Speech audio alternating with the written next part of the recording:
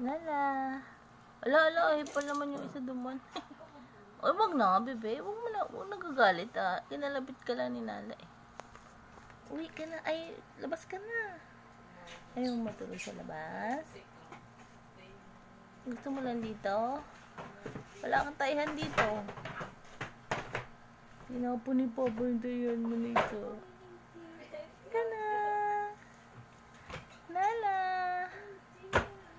Ayan ni Nala lumabas. Gusto niya lang dito sa loob, oh. Nagbe-beautifulize lang siya dito, oh. oh.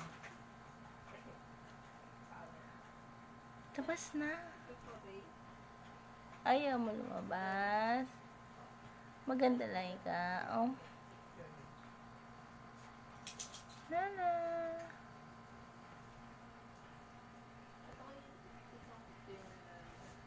Halika na. Ikaw na lang naiwan dito sa loob.